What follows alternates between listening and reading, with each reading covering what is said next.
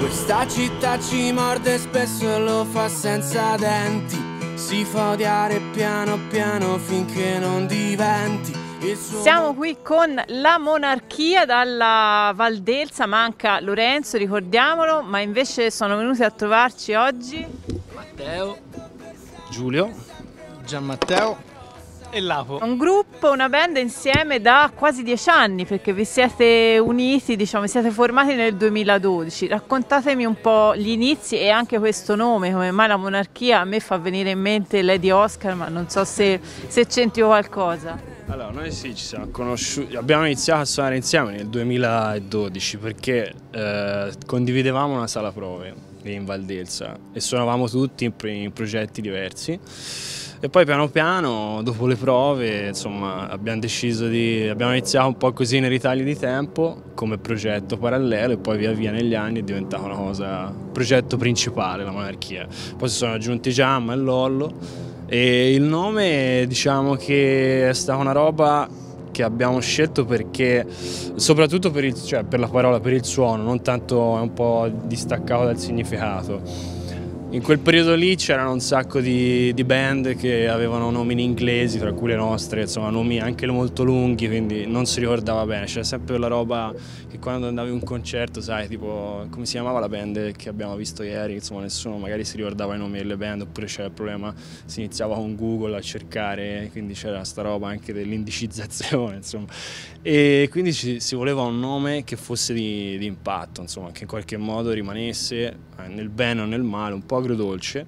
E in quegli anni lì io stavo studiando, stavo studiando letteratura e mm, mi trovavo davanti, insomma, questo testo di Il Demonarchia di Dante. Che, e quindi insomma questo nome mi, mi folgorò un po', mi piaceva. Poi c'era anche questo concetto di nobiltà d'animo, che poi è scollegato completamente dal testo di, di Dante, insomma non c'entra niente sta roba. E, e niente, quindi insomma ce lo siamo presi, per ora nessuno ci ha accusato insomma, di essere filomonarchici o cose varie, quindi è stato abbastanza capito. All'inizio c'era un po' questo dubbio, si diceva, "Bah, forse qualcuno magari traviserà, insomma. Benissimo, abbiamo appurato che non avete contatti con eh, Filiberto di Savoia e mm, volevo chiedervi, voi avete deciso fin dall'inizio di cantare in italiano, e, mm, però nei vostri ascolti leggevo che in realtà sono molto esteri, mm, band anni 90 come Smashing Pumpkins, Dinosaur Junior, quindi insomma quali sono un po' vostre, i vostri interessi, le band che magari vi ispirano di più? Abbiamo scelto l'italiano perché chiaramente era la cosa più semplice per esprimerci, insomma, mm, qualcosa di inglese insomma la, la sappiamo, però comunque non è la stessa cosa, cioè comunque quando ti esprimi nella tua lingua chiaramente insomma hai più, un vocabolario più esteso, hai possibilità di, di argomentazione, insomma era più bello. E poi c'era anche un po' la sfida di provare a riportare quello che ascoltavamo in, in lingua straniera, insomma in, in italiano. E gli ascolti sì, sono quelli che hai, che hai citato, che poi sono quelle cose che ci siamo ascoltati e macinati, cioè negli MP3 che avevamo quando eravamo 17-18 anni, insomma, dopo l'adolescenza, insomma, e che è poi secondo me il momento in cui le cose si rimangano più attaccate addosso. Poi chiaramente negli anni, quindi quello è il, è il background musicale che un po' abbiamo in comune. Poi negli anni chiaramente insomma crescendo tutti, ognuno ha fatto poi ascolti più disparati, cioè chi ha cantautorato e altri generi. Però chiaramente quando poi vai a rifare musica eh, tendi secondo me a, a rimettere in musica un po' quello che, che hai ascoltato, chiaramente è quello che hai ascoltato in quegli anni lì è quello che ti è rimasto più addosso. Insomma. Avete fatto un'esperienza che è un po' il classico di tante band, il Rock Contest, è un concorso che insomma, ha visto veramente tanti tanti musicisti, forse quasi tutti i musicisti italiani ci sono passati e mm, vi chiedo un po' di raccontarmi quell'esperienza. Il Rock Contest ormai insomma sono passati diversi anni, comunque fu veramente bello anche perché fu un, po' l'inizio anche nostro perché ci eravamo formati da, da non molto tempo, si suonò su palchi di Firenze comunque eh, cioè, noi ci andava a sentire chi ci piaceva, quindi ci faceva molto piacere andare a suonare su quei palchi lì. e poi arrivavamo fino a un finale, quindi cioè, eravamo veramente contenti in quel momento, in quel momento lì. Uno dei primi parchi seri insomma, su cui c'era questa opportunità insomma, di stare alla Flog, al Tender, che a Firenze insomma, sono un po' delle istituzioni, quindi era la prima volta su un palco serio, è stato bello anche per quello. E c'era ancora il tender e come dicono i giovani mi hai sbloccato un ricordo e insomma tornate oggi con un singolo che è un preludio all'album che speriamo uscirà quest'anno che è Ossa, una canzone che parla di tanti temi e mi ha colpito un po' due diciamo principalmente, il tempo che passa, eh, quindi pensare a quello che sarà dopo di noi e ma anche un po' vivere in provincia, che è una, un'esperienza che fanno tantissime persone, insomma sono pochi in realtà quelli che poi vivono nelle, nelle metropoli, soprattutto in Italia. Esatto, è, cioè, quel testo lì parla proprio della, della provincia, dei posti in cui, in cui viviamo, eh, alcuni di noi, e dove siamo cresciuti. E è una roba che...